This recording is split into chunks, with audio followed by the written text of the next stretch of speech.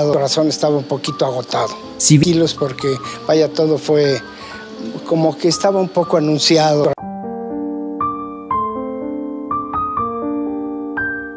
Al mismo tiempo que muchas personas la consideraban como una completa desconocida, ella le cerraba la boca a todos ganando el premio Ariel en su primera participación en una película. A pesar de que la vida se encargó de darle tanto, fue la misma vida, la que de un momento se lo arrebató todo. Ella perdió a sus dos únicos hijos en incidentes automovilísticos y terminó completamente sola en un asilo de ancianos. En 1948, México fue testigo del nacimiento de una tremenda estrella que brillaría con su máximo esplendor en la época del cine de oro mexicano. Marta Roth era una italiana que había llegado a nuestro país gracias a que su padre, el violonchelista Santo Roth, había venido por una gira. Años más tarde, a Marta le entraría la cosquillita de la actuación, por lo tanto, entró a estudiarla al igual que arte dramático. El director Alejandro Galindo la buscó para que participara en la película. Una familia de tantas. Por la mente de Marta Roth nunca pasó la idea de que con ese papel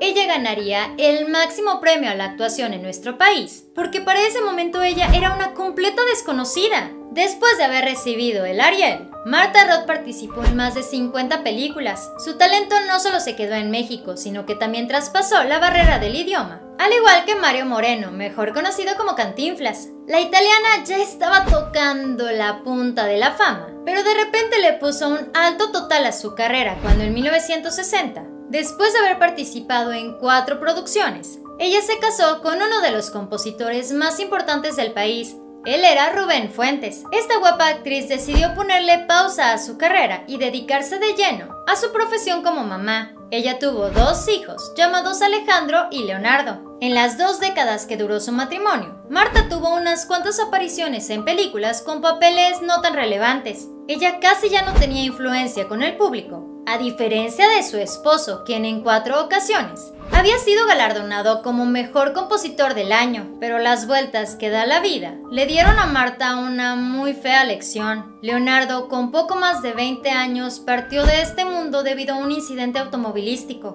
Marta decidió no dejarse vencer por la tristeza, pero la pérdida de su hijo era tan solo el inicio de un muy mal sueño. Después, su otro hijo, Alejandro, perdería la vida en las mismas circunstancias. A los 75 años de edad, Marta Roth se retiró del mundo de la farándula. Para no ser un peso para su esposo, ella decidió quedarse en un asilo de ancianos. A pesar de que su marido siempre buscó acompañarla, la soledad fue su única amiga. Hasta que el 7 de octubre del año 2016 ella partía de este mundo debido a un infarto. Su memoria hasta este momento sigue estando muy vigente y sus éxitos siempre estarán aquí, recordándonos la excelente actriz que fue. Este fue el Muro de la Fama. Dale like a este video, suscríbete y síguenos en Facebook.